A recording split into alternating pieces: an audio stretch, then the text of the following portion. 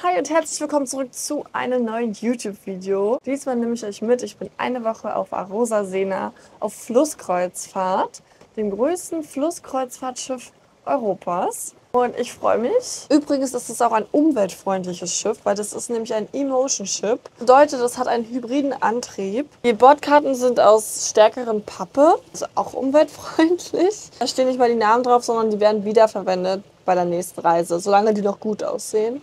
Sonst werden die ausgetauscht.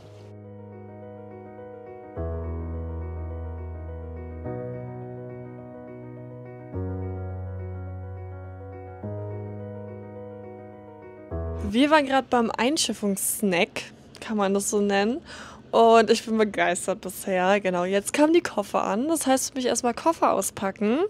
Und ja, ihr seht es, ich bin gerade einfach überwältigt, wie toll dieses Schiff einfach ist. Ich habe noch nicht alles gesehen, weil für mich beginnt erst der Urlaub, wenn der Koffer ausgepackt ist.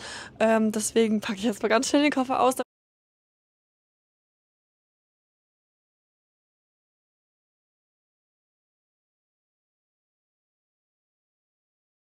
So Leute, ich bin hier gerade in der Sena Bar bzw. auch Lounge. Ähm, abends finden hier ein paar Veranstaltungen statt oder halt einfach gemütlich in der Bar sitzen, wenn man nicht gerade draußen ist. Ich fand das sehr schön, weil ich kann hier überall so wunderschön rausgucken. Wenn du das scannst, hier drauf, auf Getränkebestellung, dann kannst du alle Getränke, die hier in dieser Karte drin sind, bestellen. Und dann werden sie dir gebracht. Also du musst nicht mehr warten, bis der Kellner kommt. Und das finde ich super. So Leute, wir sind hier ganz vorne am Schiff. Ich glaube, das heißt Captain's View. Hier sind richtig schöne Sitzplätze. Ähm, da ist der Captain.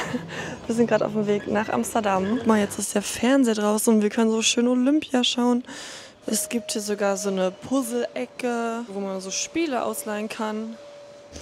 So Leute, wir haben jetzt in Rotterdam angelegt. Ich sitze hier gerade in so einem Hängesessel. Um 15.30 Uhr geht unsere Grachtentour los. Ich freue mich drauf. Also hier oben hat man wirklich eine Menge Platz. Hier kommen wir zur Up and Down Bar, wie der Name schon sagt. Die fährt hoch und runter. Gerade ist hier runter. Und irgendwann kommt die aber wieder hoch. Ich weiß noch nicht wann, aber dann gibt es hier oben auch lecker fancy Getränke. Ich habe gerade einen Schiffsrundgang ähm, für Instagram gedreht und für TikTok. Könnt ihr sehr gerne mal abchecken. Das Mittagessen war übrigens auch sehr, sehr lecker.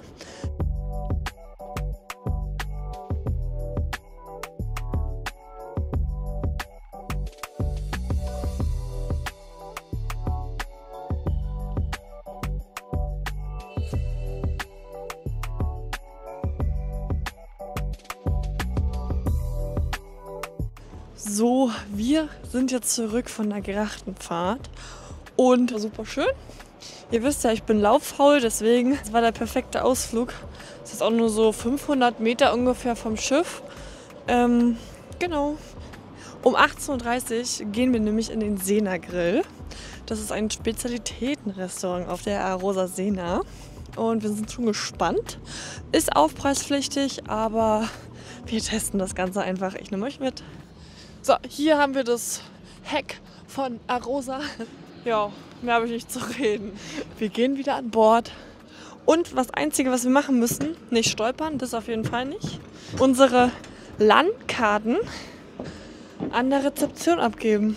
Ja. Achso, muss ich jetzt wieder. Jedes Mal dasselbe. So, das ist mein Outfit für den Sena Grill. Let's go!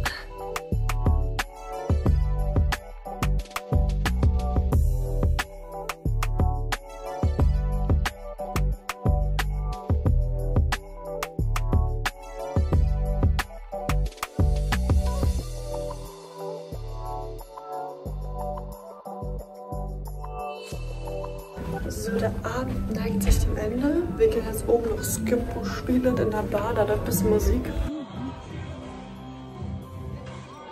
So, guten Morgen Leute, wir gehen jetzt zum Frühstück.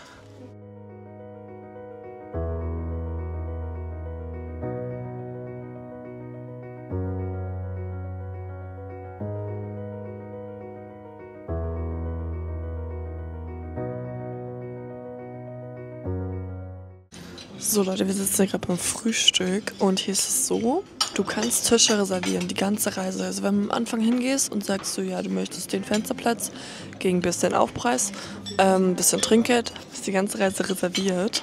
Wir haben jetzt auch so einen Tisch tatsächlich. Ich kann es dir euch mal zeigen. Stehen unsere Kabinennummern dran. Wenn es voll ist, keiner sitzt an unserem Tisch, weil es halt unserer ist. Ist voll praktisch. Aber man findet auch, wenn man nichts reserviert, findet man auch genug Tische. Hinten ist zum Beispiel ein Bereich, wo man nicht reservieren darf. Da saßen wir auch gestern tatsächlich, wo wir noch keinen Tisch hatten. Ja, aber ich finde das cool, dass es sowas gibt. Manche mögen es, manche nicht. Ähm, ja. So, wir sitzen jetzt hier noch ganz vorne. Oh, ich lieb's hier. So, wir gehen jetzt in die Stadt. Es ist kurz nach neun. Ich weiß, hat noch nichts offen. Jetzt müssen wir unsere Landtagskarten wieder abholen. Das ist hier so, du gehst an die Rezi und holst eine Karte, dass du an Land bist. Genau, also hier wird keine Karte gescannt oder so. Du musst dir die Karte holen wenn du wiederkommst, dann bringst du die wieder. Da hinten geradezu sehen wir den Hauptbahnhof. So, wir laufen jetzt in der Stadt vorbei am Booking.com Gebäude. Ähm, ja, Sonne scheint, teilweise ist es sehr windig. Heute wurden auch wieder Ausflüge angeboten, aber wir wollten einfach so in die Stadt laufen. So, wie gesagt, die Läden haben noch nicht offen. Wir sind jetzt in irgendeiner Nebenstraße, also hier gibt es auch ganz viele Shops.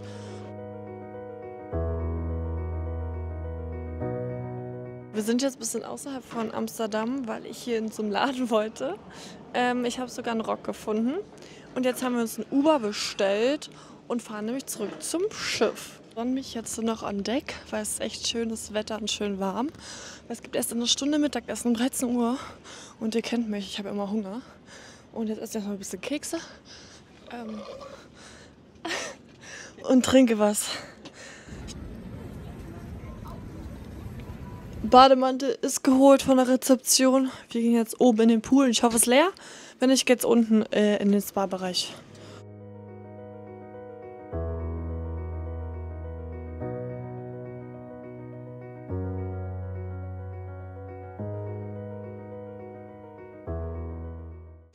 So Leute, wir haben gerade schon wieder abgelegt. Wir sind jetzt auf dem Weg nach Rotterdam. Da kommen wir tatsächlich schon um 0 Uhr 30 an. Das geht jetzt gleich zum Abendbrotessen. Endlich, ich habe Hunger.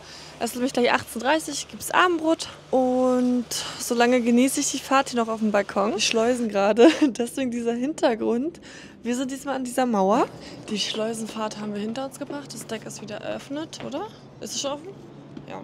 So, ich lasse den Abend jetzt noch ausklingen und äh, gehe wahrscheinlich in die Lounge, in die Bar. Da ist immer so ein bisschen Musik und ein DJ und eine Tanzfläche. Ob ich tanzen gehe, ich glaube nicht, aber ähm, es ist entspannt. Genau, dann sehen wir uns morgen in Rotterdam wieder.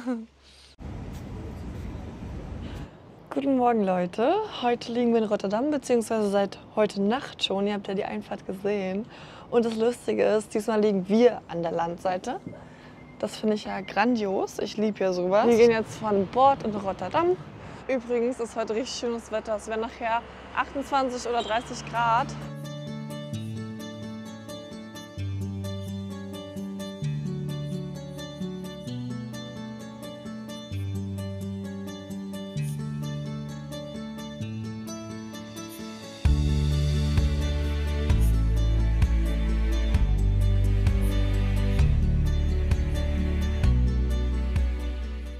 Und jetzt gehen wir zu meinem Lieblingsschuhladen in Rotterdam. Den gibt es ja auch nur.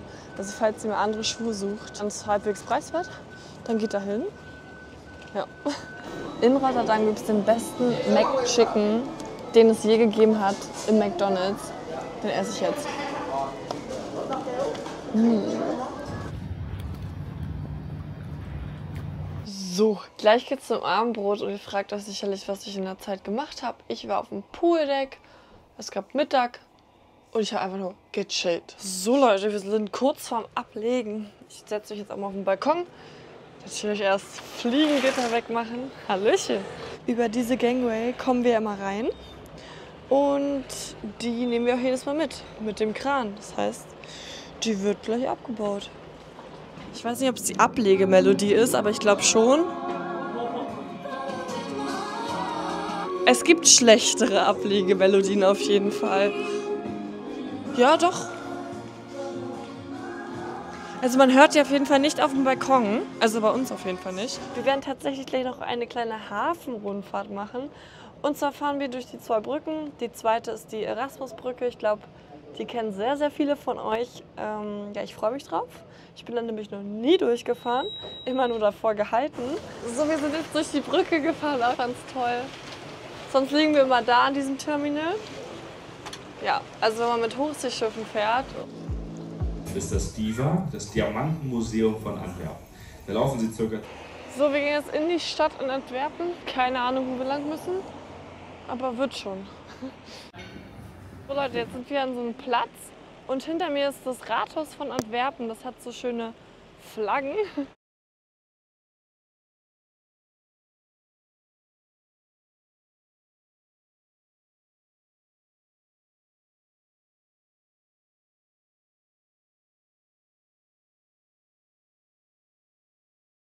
So Leute, typisch für Belgien darf eine belgische Waffe nicht fehlen. Die habe ich mir jetzt an so einem kleinen Stand hier geholt. Und ja, die probiere ich jetzt erstmal, weil das ist noch heiß. Leute, dieser Mülleimer hat mit uns gesprochen. Ich habe zwar nichts verstanden, aber er spricht. So, wir sind wieder fast am Schiff. Da hinten irgendwo sieht man schon. Ich sitze hier gerade wieder auf meiner schönen Schaukel. Guten Morgen Leute, es ist Tag 2 in Antwerpen. Ich genieße noch die Sonne, wir haben Viertel zehn. Und das ist mein Ausblick. Hier liegen noch zwei andere Flusskreuzfahrtschiffe und da hinten liegt noch ein Kreuzfahrtschiff. So, wir haben abgelegt und ich sitze auf dem Balkon. Genieße noch die Sonne, genieße die Aussicht. Morgen haben wir einen Flusstag. Ich muss ganz aufpassen, dass ich nicht Seetag sage. Ja, das ist übrigens ein Arosa Spritz.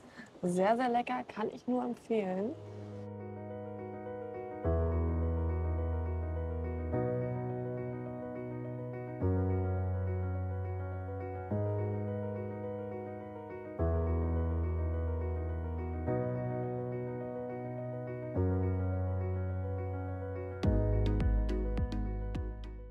So Leute, der letzte Tag bricht an. Wir haben unsere Kabine unsere Kofferbänder bekommen. Gelb ist für den Transfer zum Bahnhof. Bis 7 Uhr müssen wir unsere Koffer morgen früh vor die Kabine gestellt haben. Dann wird es automatisch alles geregelt. Und ja, ich liebe es einfach auf dem Balkon zu sitzen und alles zu beobachten. Ist einfach toll. So, Fazit der Reise. Ich fand die mega, mega cool. Die Woche verging wie im Flug. Ich weiß auch nicht warum.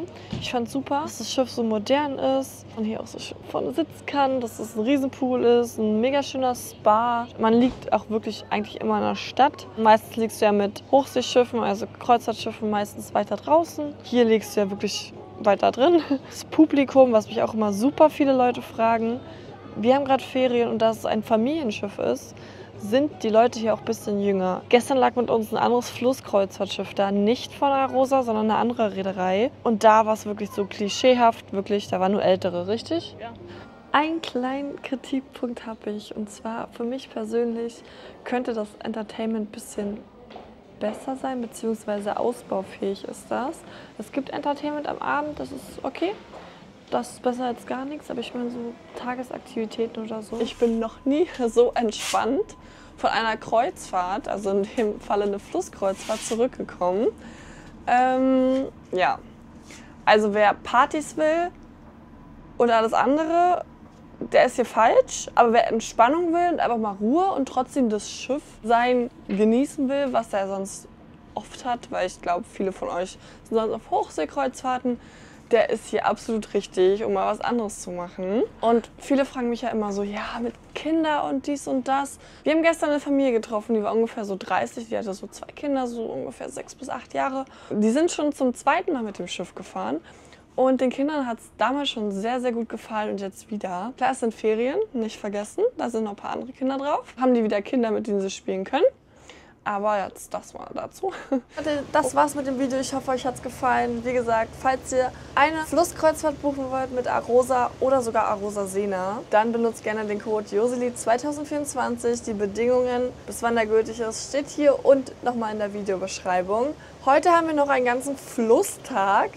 Den filme ich hier nicht mehr mit, sondern ich filme den auf Instagram und TikTok. Also folgt mir auch sehr gerne da oder schaut vorbei wenn ihr so wissen wollt, was ich an einem Flusstag mache. Und wenn euch das Video gefallen hat, gebt gerne einen Daumen hoch, schreibt einen netten Kommentar rein und wir sehen uns vielleicht irgendwann mal an Bord.